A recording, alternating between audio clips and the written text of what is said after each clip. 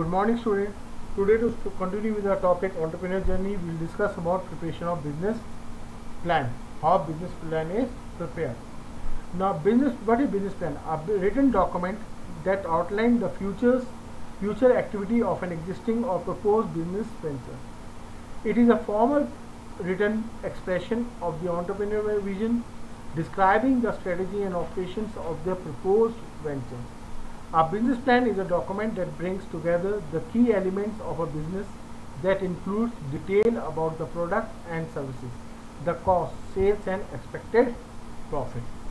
Now, purpose of business plan, it provides a blueprint of actions to be taken in future, guides the entrepreneur in raising the factors of production, serves as a guide to organize and directing the activities of the business venture, helps in measuring the progress of venture at successive stages, whether the our uh, progress is there or not, and what rate we are progressing. Then communicates to investor, lender, suppliers, etc., initiating the programs of the business. So it promotes it, it through business plan. Investors, lenders, suppliers, they come to know where the businessman is standing, where the firm is standing, and where the entrepreneur is standing, and what are their future plans. Now, elements of business plan are executive summary, product or service, management team, market and competition. So, what is the what market is there?